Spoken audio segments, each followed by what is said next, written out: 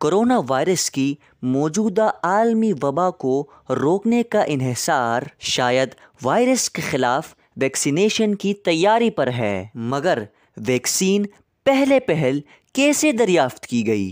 सन एक हज़ार के करीब चीन में चीचक का अव्वलीन इलाज दरियाफ्त किया गया। ये मोहलिक मर्ज़ हर तीन में से एक मरीज़ की जान ले लेता था।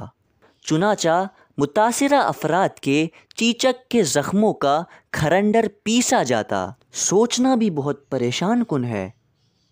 और ताहाल इन्फेक्शन से महफूज अफराद की नाक में चढ़ाया जाता। फिर ये उम्मीद की जाती कि उनमें चीचक की शिद्दत मतदिल रहेगी और इन्हें यह मर्ज़ दोबारा नहीं होगा। मगर वेरुलेशन कहलाने वाला ये इलाज तीस में से एक फ़र्द की जान ले लेता। सत्रह सौ छियानवे में एडवर्ड जीनर ने साबित किया कि वैक्सीन महफूज तरीका है।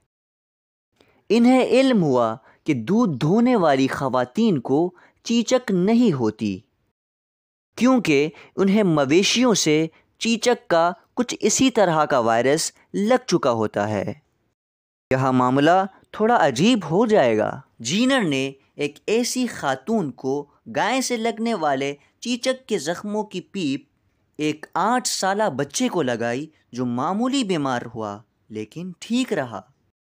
बाद में जीनर ने बच्चे में इंसानी चीचक का वायरस दाखिल किया, लेकिन बच्चा कुत मुदाफ़ियत पैदा कर चुका था और इसे कभी ये बीमारी न हुई।